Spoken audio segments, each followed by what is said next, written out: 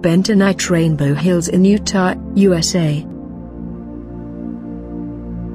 Location, Cathedral Valley Loop Significance, Unique, colorful geological layer.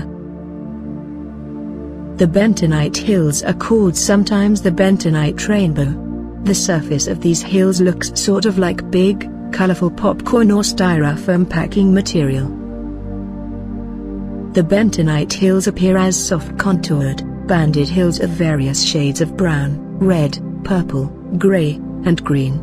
The hills are composed of members of the Brassian Basin shell of the Morrison Formation. This layer was formed during the Jurassic period when mud, silt, fine sand and igneous ash accumulated in waterlogging and lakes.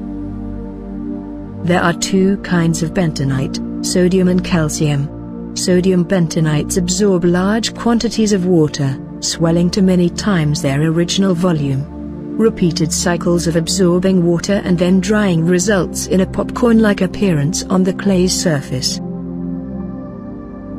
Bentonite was first commercially mined in Wyoming during the late 1880s. It was originally found in Montana near Fort Benton.